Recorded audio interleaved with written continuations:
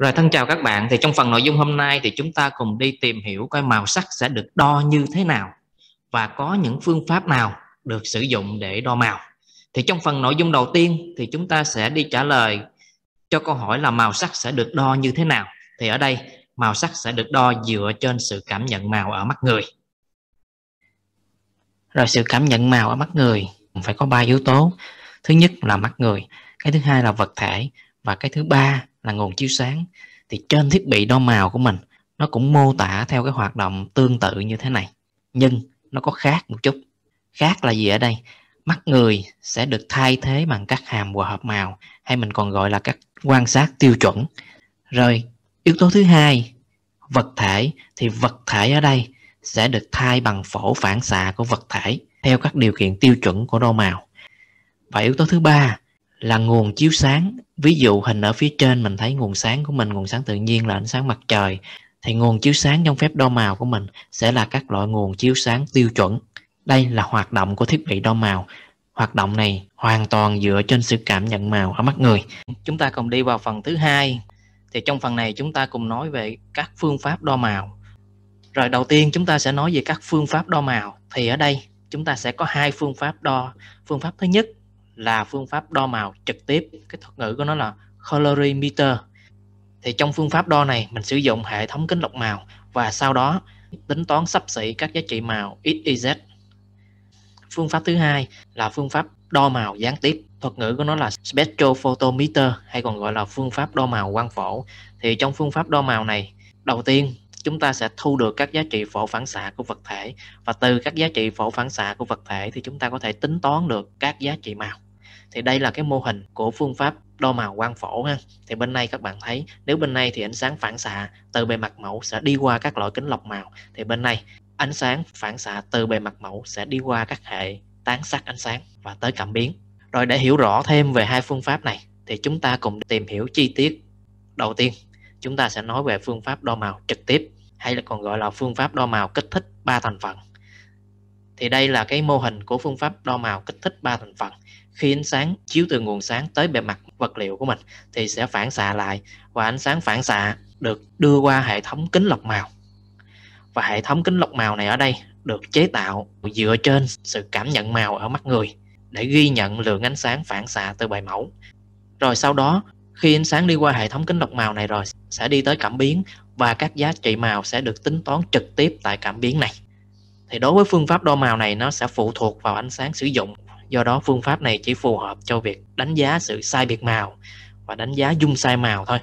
Không phù hợp đối với các bài mẫu, đối với các vật liệu có hiện tượng như là hiện tượng meta hoặc tính toán các công thức để pha màu. Bởi vì trong tính toán các công thức để pha màu thì mình cần cái dữ liệu phổ phản xạ để mình xây dựng công thức màu pha.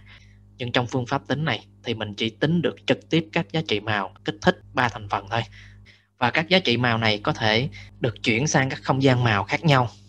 Thì trong phần này chúng ta thấy quá trình đo màu bằng phương pháp đo màu trực tiếp này, về cơ bản nó gần giống như cảm nhận màu ở mắt người. Tiếp theo chúng ta cùng đi qua phương pháp đo màu thứ hai, đó là phương pháp đo màu gián tiếp, hay tôi còn gọi là phương pháp đo màu quang phổ. Thì trong phương pháp đo màu này, mình có các mô hình góc đo như sau. Mô hình góc đo 45 không hoặc 0 45 thì với hai mô hình này sẽ loại bỏ được hiện tượng bóng trên bề mặt và nó gần giống như quá trình cảm nhận màu ở mắt người. Đây là mô hình đo màu 45 không ha.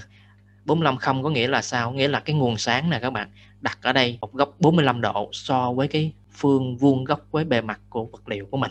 Đó và cảm biến đặt tại vị trí này. Khi ánh sáng chiếu tới bề mặt của vật thể ha, thì nó sẽ phản xạ lại. Thì ánh sáng phản xạ sẽ được dẫn dắt qua một hệ thống thấu kính hội tụ và sau đó sẽ đi tới các bộ phận ở đây là bộ phận tán sắc ánh sáng và trong phần này là sử dụng bộ phận tán sắc là các loại bánh xe kính lọc. Ví dụ ha, đối với các thiết bị của X-ray thì họ sử dụng bộ phận tán sắc của họ là bánh xe kính lọc màu. Đối với các loại máy đo của hãng Konica Minolta chẳng hạn, thì họ sử dụng bộ phận tán sắc của họ là cách tử lõm sau khi ánh sáng đi qua hệ thống tán sắc rồi sẽ tới cảm biến, và tại vị trí cảm biến này sẽ ghi nhận lại dữ liệu phổ phản xạ và dữ liệu phổ phản xạ từ bề mặt của vật thể này sẽ được sử dụng để tính toán các thông số màu. Tôi ví dụ ở đây, với mô hình góc đo 45 không hoặc 045 mình gặp trên các loại thiết bị đo sau đây. Đối với thiết bị đo X-ray ISAC thì mô hình góc đo của họ là mô hình 45 không rồi thiết bị đo của Konica, thì mô hình góc đo cũng là 45 không thì đối với mô hình góc đo 45 không, chúng ta thấy có đặc điểm như thế này khi đo thì chúng ta nhấn xuống ha, rồi dở lên còn đối với mô hình góc đo 045 thì chúng ta gặp trong các thiết bị đo của Techcom. Thì với mô hình góc đo này cái đầu đo nó nằm ở phía bên ngoài như thế này ha. Thì mỗi lần đo thì chúng ta đặt vị trí đầu đo tới mẫu đo và chúng ta nhấn nút đo. Rồi đối với mô hình thiết bị này mô hình góc đo này nó sẽ phù hợp cho ngành in ha, phù hợp cho bao bì và nó sẽ không phù hợp cho các bề mặt gần như gương các bề mặt như là vải sợi hay là nhựa ha hoặc không phù hợp cho các bề mặt có ánh kim hoặc các loại bích măng đặc biệt ví dụ đây đây là mô hình góc đo 45 không ha.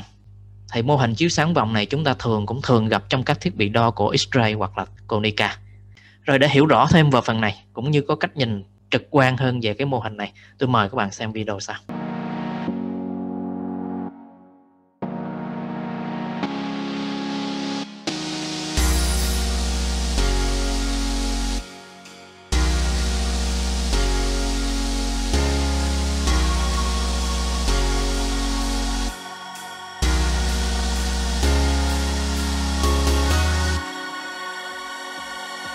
Rồi chúng ta cùng đi vào một phương pháp đo màu gián tiếp khác nữa. Là ở đây, mình đo bằng hệ thống là đo phổ cầu. Thì mình cũng ở đây mình cũng thu được phổ phản xạ ánh sáng là phổ phản xạ ánh sáng khuếch tán luôn. Nhưng ở đây, phổ phản xạ này có thể chứa thông tin về độ bóng hoặc là không. Thì tùy vào cái tùy chọn của nó. Ví dụ ở đây, thì các bạn thấy đây là mô hình đo phổ phản xạ cầu. Thì nguồn sáng được đặt như thế này. Còn ở đây là vị trí đặt mẫu ha. Thì bên trong cái cầu này sẽ được tráng phủ một lớp vật liệu có hệ số phản xạ cao và so với phương thẳng đứng này, thì cái cảm biến đặt ở góc này là là góc 8 độ ha. Khi ánh sáng chiếu vào bề mặt của quả cầu này thì ánh sáng sẽ tán xạ theo mọi hướng, chiếu tới bề mặt của mẫu. Và từ bề mặt của mẫu sẽ phản xạ tới cảm biến. Và tại đây, cảm biến sẽ ghi nhận lại giá trị ánh sáng phản xạ. Và cũng cho ra số liệu là phổ phản xạ khuếch tán của mình.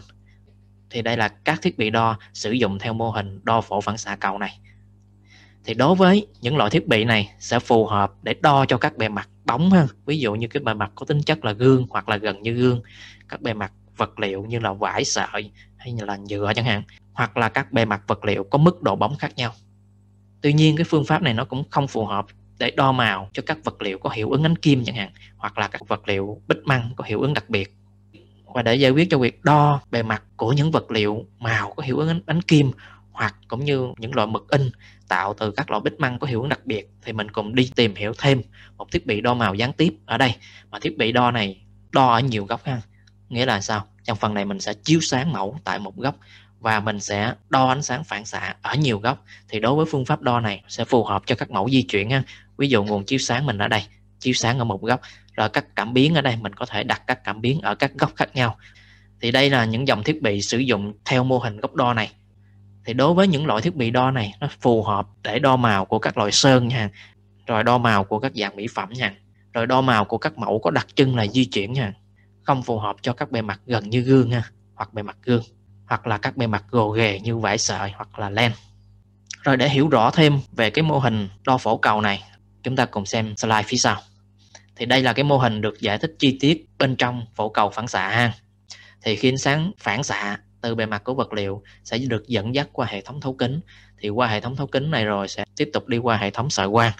Và tới đây, thì đây là bộ phận tán sắc ánh sáng ha. bộ phận tán sắc này có thể là cách tử hoặc có thể là các loại bánh xe kính lọc màu hoặc có thể là lăng kính với các thiết bị đo màu hiện đại ha. Sử dụng bộ phận tán sắc ánh sáng là cách tử nhiễu xạ.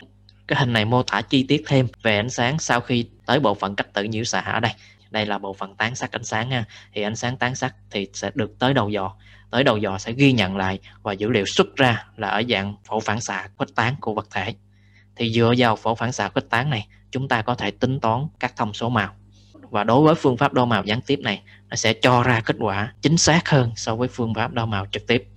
Và dữ liệu phổ phản xạ nó cũng giống như cái dấu vân tay để nhận diện về màu sắc do đó trong phương pháp đo màu này, các bạn sẽ thấy là mình sẽ đo được các hiện tượng như là hiện tượng meta, cũng như là sử dụng phương pháp đo này mình có thể thiết lập được các công thức cho màu pha và nội dung của phần phương pháp đo màu trực tiếp cũng như phương pháp đo màu gián tiếp cũng đã kết thúc phần nội dung của chúng ta hôm nay. Thân chào các bạn.